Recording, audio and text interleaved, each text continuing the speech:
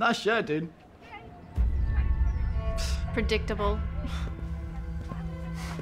Nice tits. Excuse me?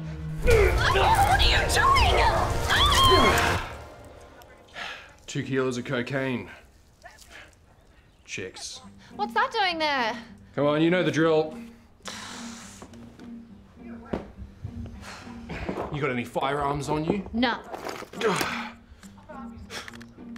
I don't know a gun in a butthole when I see one. That's not mine. It's your butthole. Alright, cough for me.